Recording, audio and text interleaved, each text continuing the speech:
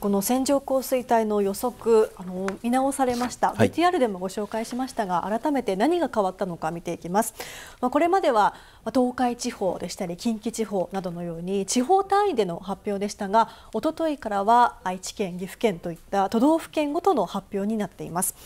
線状降水帯の予測を発表して実際に発生する的中率これまで4回に1回でしたが運用が変わってからもこれこの的中率は変わらないということなんですね、はい、的中率は変わらないけどその出す範囲がもう少し小さくなっていったということです、はい、まあ的中率変わらなくてもやはり雨は外れたとしても雨は降るわけですもんね、はい、線状降水帯が発生しなくても大雨になったケースはありますので、ええ、やはり重要な情報です、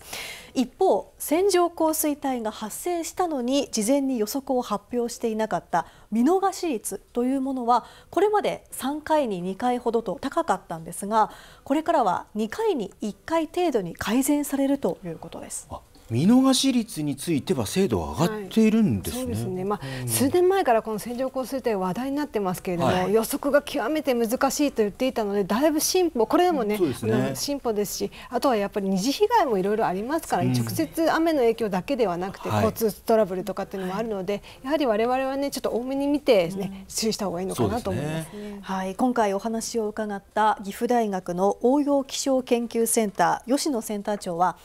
今年の梅雨は雨が多くなる予想。線状降水帯の発表も多くなるのではないかと話しています、はい、あのよく線状降水帯あの私もちょっと前まで誤解してたところがあってよくあのアメダスの雨雲レーダーで黄色とか赤って雨の降る範囲が線になってたら線状降水帯。いやいやそうじゃなくて、積乱雲が同じ場所で繰り返して長時間降るのが危ないんだよと、えー、いうことでその辺の認識をもう一回おさらいしたいところですしやはりその正しく恐れるっていうことを農家の方おっしゃってましたよね。はい。そうですね。やっぱりあの農家の方にとっては気候というのは重要なので、うん。はい、ただ我々日常生活を送っている上ではやはりそのあの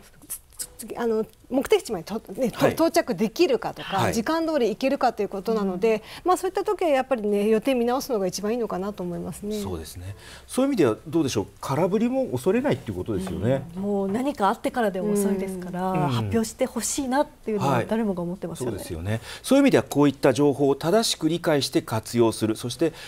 正しくあのこういう時は臆病になってもいいんじゃないかなと思います、えー、この線状降水帯の予測について正しく理解して活用していきたいものです。